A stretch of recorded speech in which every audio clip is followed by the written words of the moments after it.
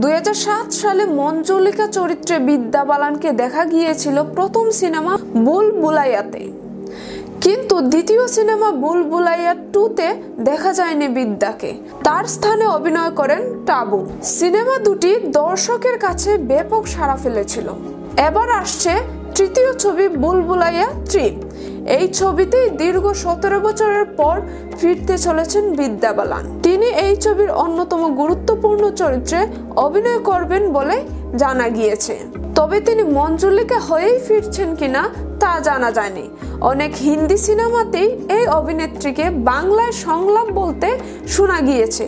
জানা গিয়েছে এই সিনেমাতেও নাকি বিদ্যাকে ঝরঝরে বাংলা বলতে শোনা যাবে।